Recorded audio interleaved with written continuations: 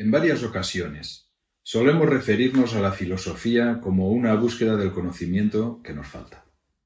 Esa búsqueda implica la acción de moverse en determinada dirección. Y es así como consultamos libros que otros han escrito, escuchamos cosas que otros dicen y sometemos al criterio propio los pensamientos y razonamientos de los demás. Es cierto que en el mundo externo a nosotros mismos se pueden encontrar muchas respuestas interesantes, porque es un mundo en el que se puede experimentar y de manera racional establecer relaciones que nos llevan a lógicas conclusiones. Es un mundo compartido por millones de seres humanos, básicamente con los mismos problemas y las mismas necesidades, aunque hay que reconocer que varía muchísimo el grado de intensidad de problemas y necesidades para unos y para otros. Pero asimismo, es cierto que en el mundo interno, íntimo y privado de cada uno de nosotros, también se puede experimentar y llegar a resultados válidos. Aquí nos encontramos más solos, aunque estemos rodeados por millones de seres humanos. En ese ámbito interno, nuestros problemas y necesidades nos parecen únicos, nuestras ideas las mejores, y nuestras emociones nos hacen creer que son intransferibles. Estos dos mundos, el externo y el interno, son absolutamente reales para cada individuo, y no podemos estar totalmente seguros de saber y de conocer algo si no lo hemos experimentado en estos dos planos de la existencia. ¿Cómo podemos estar seguros de que alguien nos ama? ¿Cómo podemos saber si somos valientes? ¿Cómo aprovechar la libertad que tenemos? Las preguntas se acumulan y nos movemos en busca de respuestas eh, en un camino tal vez sin fin, pues si hay algo que no tiene límites es lo desconocido, y siempre habrá cosas nuevas y mejores para aprender. Filosofía es, pues, relacionar de manera correcta los conocimientos de una dimensión externa, objetiva, y las vivencias de una dimensión interna, subjetiva, ya que son las dos caras de la realidad. Una relación correcta es que los actos correspondan a una manera de sentir y de pensar, que no exista falsedad en nosotros, que seamos capaces de unir las flores de los resultados de nuestras experiencias objetivas y subjetivas en un solo ramo, al que llamaremos nuestra experiencia de la vida. A esto nos referimos cuando hablamos de filosofía en acción. Pero hay algo que participa al mismo tiempo de lo objetivo y de lo subjetivo, y por tanto forma parte integrante de la vida en su naturaleza esencial, los símbolos. Son objetivos, porque pueden ser representados sensiblemente y comprendidos por la razón. Y son subjetivos, porque también pueden ser interpretados por medio de la imaginación y de la intuición. Y constituyen un lenguaje, porque sirven para comunicarse, para transmitir conocimientos materiales e inmateriales, para expresar ideas y sentimientos para encerrar de manera sintética un haz de significados, una original diversidad que conduce a lúcidos estados de entendimiento. ¿Son los símbolos una creación convencional de los seres humanos? Algunos realmente lo son, y nos hacen la vida más fácil. Son necesarios para participar de los conocimientos de la matemática, la química, la física, de las ciencias en general, y de la atmósfera tecnológica que nos rodea. De hecho, para disfrutar de la tecnología, no tenemos más remedio que saber interpretar la cada vez más compleja simbología que la representa. Desde televisores, bueno, toda la gama de electrodomésticos, pasando por el imprescindible ordenador, hasta llegar al trono del monarca absoluto, que es el teléfono celular. Y cuando ya se consigue un básico manejo del aparato, Pronto aparece en el mercado la nueva generación de teléfonos celulares y, y bien, es una manera como cualquier otra de desarrollar la paciencia. Sí, algunos símbolos son creaciones humanas y otros ya existen en la naturaleza y nos ayudan a entender la vida y sus manifestaciones. Están presentes en todos los reinos, desde el mineral al humano, en lo pequeño de células y átomos y en lo inmenso de astros y galaxias forman parte de la vida, del universo, de la existencia en su incesante devenir. ¿Los usamos? De forma consciente elegimos metales o piedras preciosas para regalar y en ese momento pronunciamos pocas palabras o ninguna para expresar las emociones que nos embargan. El tipo de flores que elegimos para regalo o decoración varía según el momento o el estado de ánimo que se quiere mostrar. Los animales son utilizados en la heráldica, en los emblemas, en el arte, por su gran carga simbólica. Empleamos colores y sonidos, objetos y palabras rituales, en muchos momentos de la vida porque los consideramos importantes o especiales. Pero los símbolos también nos acompañan en los momentos más cotidianos.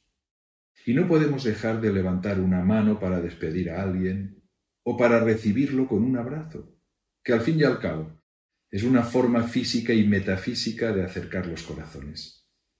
Y cuando nos encontramos con la risa o con el llanto, patrimonio de los humanos, recibimos de inmediato la carga emocional de su trasfondo simbólico. Parece ser, pues, que hay símbolos artificiales, convencionales, y los hay naturales. Esta diferencia no se da solamente en el terreno simbólico, porque es evidente que forma parte de la vida en sociedad. Hay uniones convencionales entre seres humanos, por intereses compartidos, y también hay uniones naturales, por amor. Hay corrientes artísticas con formas e interpretaciones convencionales, a veces de difícil interpretación, la verdad. Y hay otras que son naturales, donde un ojo es un ojo y no otra cosa. Hoy se necesita cierto grado de autenticidad para aceptar que una forma de color sin entorno definido es una mancha y no una genialidad. En fin, lo convencional forma parte de la educación establecida y dirigida en muchas ocasiones por la publicidad. Sin embargo, lo natural forma parte intrínseca del desarrollo humano. Desde el punto de vista filosófico, como búsqueda del conocimiento, nos interesa no tanto la creación convencional del símbolo, sino la captación natural de este fenómeno, en su función de relacionar el mundo manifestado en lo sensible, a través de la comprensión, con su contraparte superior, al que, a la que Platón llamaba el mundo de las ideas arquetípicas, a través de la imaginación y de la intuición. En otras ocasiones ya he mencionado que la lógica y sus mecanismos tienen sus limitaciones propias de un mundo lineal, pero la conciencia puede moverse en una dimensión superior, y eso nos facilita el acceso a otras realidades. Si no fuera posible, estaríamos negando la evolución y en contra del inevitable movimiento de la vida. En esa dimensión superior de la conciencia, los sentidos no actúan de forma habitual, pero las experiencias cobran mayor profundidad y sutilidad con ayuda de los símbolos. El ser humano puede establecer relaciones entre los seres, las cosas y los acontecimientos, gracias a sus facultades mentales superiores. Y eso no depende de la cultura a que se pertenece ni a qué nación. Es una facultad innata en todos nosotros, que podemos desarrollar más allá del análisis discursivo y del razonamiento. Cuando hablo de las facultades superiores de la mente, me refiero a la imaginación, la intuición y la voluntad, aquellas que destacan por encima del juego de los opuestos, tan apreciados por la parte inferior de nuestra mente, la que no puede razonar fuera de toda dualidad. Y estas facultades superiores nos son de mucha utilidad inductiva para comprender el mundo físico a través del espacio y del tiempo, para fortalecer la moral con la comparación de lo bueno y de lo malo, para avanzar en lo filosófico con la distinción de lo falso y de lo verdadero, y para acercarnos a lo espiritual con la percepción de lo real frente a lo ilusorio. La mente concreta desarrolla su actividad analizando y comparando lo físico con lo metafísico, lo objetivo con lo subjetivo, lo visible con lo invisible.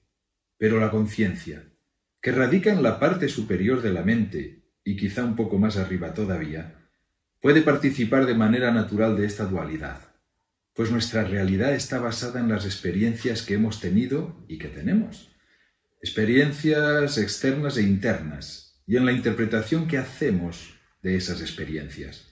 Aquí, el mundo simbólico puede servirnos de apoyo para resolver esta suerte de polaridades, en conclusiones y evidencias más cercanas a la unidad. Si somos capaces de conseguirlo, la conciencia se eleva y asciende a niveles de comprensión más profundos y más sutiles, porque ese es uno de los poderes del símbolo, nos ayuda a percibir la unidad. Los símbolos marcan los principios y los finales, y según enseñaba Platón, a través de ellos el alma puede acercarse a los arquetipos, porque los símbolos despiertan la memoria o la intuición de los arquetipos. Nos facilitan el contacto con lo sagrado, con el misterio, con el enigma, que habita en lo más interno de nosotros mismos y que también podemos percibir en el mundo exterior, en una planta que crece hacia la luz, en las formas que crean las nubes, en unos ojos que nos miran. Como fieles compañeros nos acompañan toda la vida, desde la cuna hasta la sepultura.